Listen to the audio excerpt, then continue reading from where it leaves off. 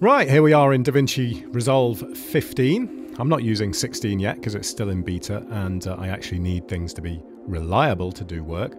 Uh, so until a few weeks ago, I edited all my videos in Premiere Pro, and uh, the reason I did that really is just because I'm used to it. I've never had any reason to change. But I do my grading in DaVinci Resolve. I just don't find the tools in Premiere anywhere near as intuitive to use. Uh, in short, I get better results color grading in DaVinci. So I figured I would try to embrace DaVinci Resolve as a complete solution and see how I went. Now, as far as editing goes, I'm not really doing anything particularly complicated, but this change still meant that I had to edit, grade, and deliver all in Resolve, and this is quite different than just grading and exporting a bunch of clips in like something like DNxHR or ProRes for later use. So this video looks at a few tips that I've found handy over the last few weeks. It's aimed at beginners. Uh, if you're just starting out with DaVinci and you're editing in DaVinci, or you've, you've made the move from Premiere to DaVinci, then this might be useful for you. Bear in mind that I'm using DaVinci on Windows 10. Keystrokes will no doubt be different for Mac users out there. And of course, you can change various keystrokes in the options as well. So firstly, remember that DaVinci uses backspace and not delete for most of its stuff. It's something that you've just got to get used to. Retrain that memory muscle or whatever. Take a couple of weeks, oh, not a couple of weeks, no, it only takes a couple of hours actually of, of using it to just retrain your, yourself after using the delete button for so long to use backspace instead. So if I have a key, uh, sorry, if I have a clip like this and I use delete as I would in Premiere, it does a ripple delete and pulls everything along. You can't change that, unfortunately, so you're just going to have to get used to it. Importing still images does some funky stuff. It does some weird stuff in um, in DaVinci as well. So I've created a bin here called uh, images and I'm just going to show you kind of what I mean. So if I do an import, which I can do by right clicking or just doing control I.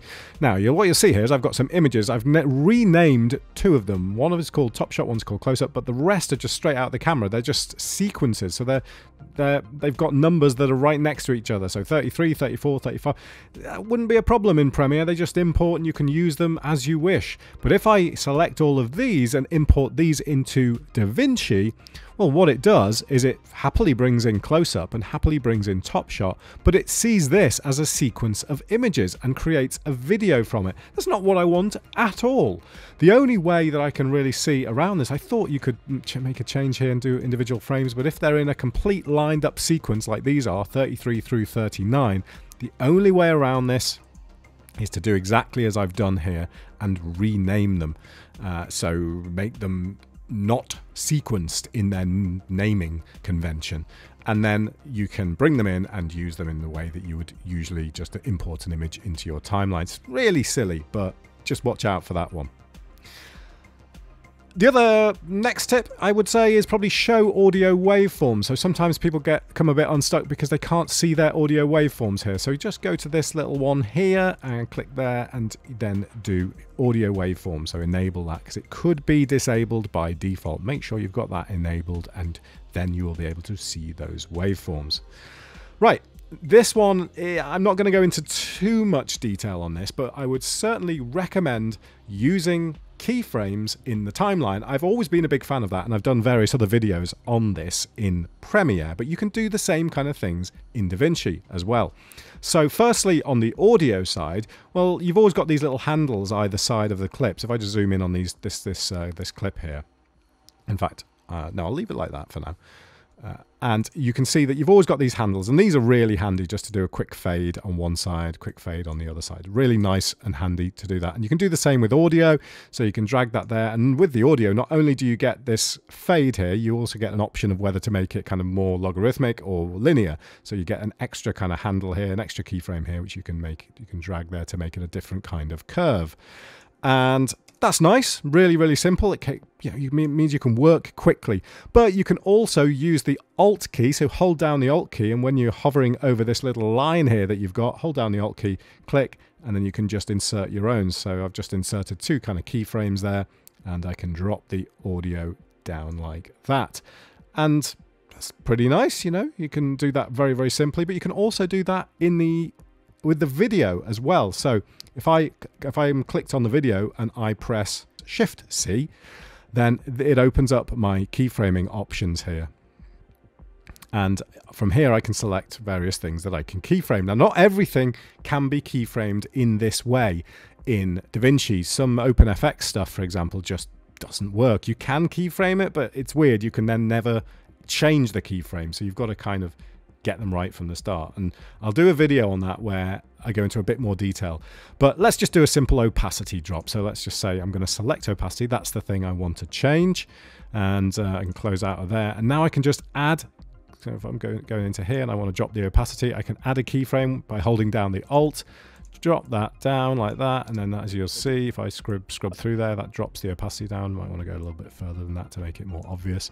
Add another keyframe there, add another keyframe there, bring it back, back up again, and you can then just sort of move that one up and down like that. So standard keyframing, uh, you can change your curves as well. So if I've got this keyframe selected, I can then have my, you know, control my little Bezier curves there. And uh, same on this one, you know, make that one uh, different type of curve. So I can make it more kind of uh, uh, slow to start and then sort of very fast to finish or whatever.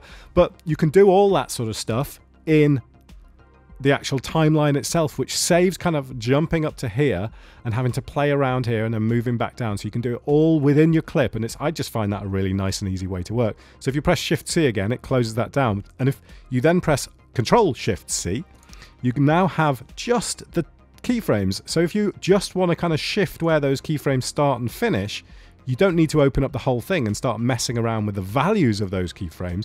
You can just adjust their position. So that's with Control Shift and C. That just opens and closes that on the timeline.